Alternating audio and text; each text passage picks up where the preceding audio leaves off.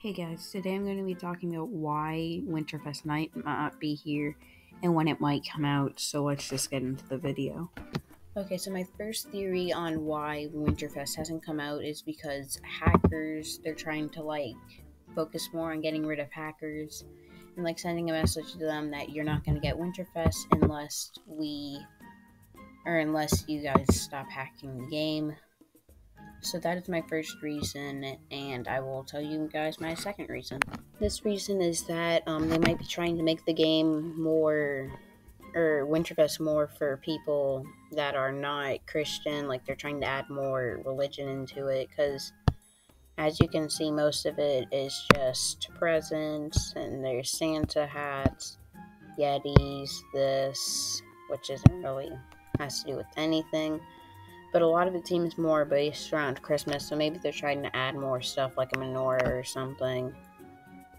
So it could be taking them a little extra time to get this through. And yeah, on to my next one.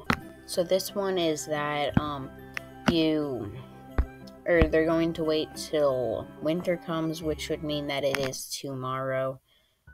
Winterfest normally comes around or it's actually is coming tomorrow, which means that it could come out tomorrow, and we could now have our stuff.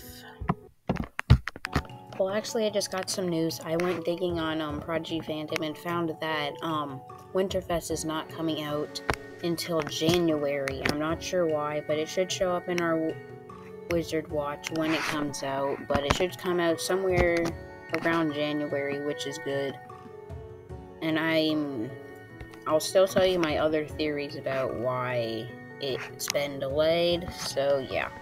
Maybe they're trying to make it more Winterfest like, so it's actually in or takes place in the winter. So they could have more stuff like winter like.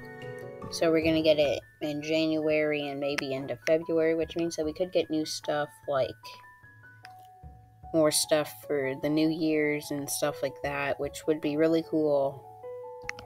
And yeah, I'll see if I can find anything more else about it. So I was able, not able to find any more things, but yeah, that's basically going to end the video. Make sure to like and subscribe. Thank you guys so much for watching, and bye.